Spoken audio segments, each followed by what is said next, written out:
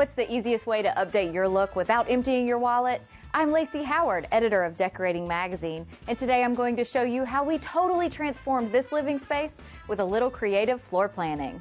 Believe it or not, a fireplace and television can play nice in the same space. It just takes a bit of creative floor planning. Right now, the sofa backs to the fireplace, creating a dead-end hallway to the wall, and the room's overall seating design is too spread out for quiet conversation.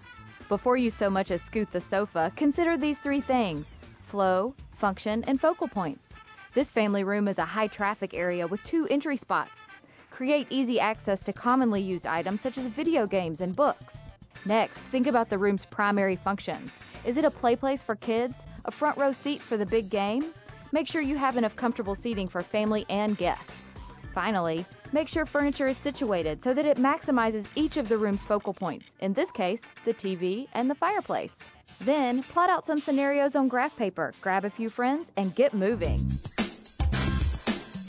Say goodbye to wasted space. We rotated the sofa to sit under the windows, then rearranged chairs to create a cozy conversation center. Now it's easy to enjoy the warm glow of the fireplace, your favorite flick on TV, and the company of family and friends.